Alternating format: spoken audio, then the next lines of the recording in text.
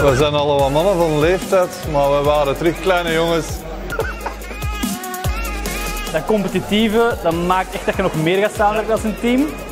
En ja, dat is gewoon leuk. Wij zijn al twee nu gewonnen. Dus dat is eigenlijk wel super tof.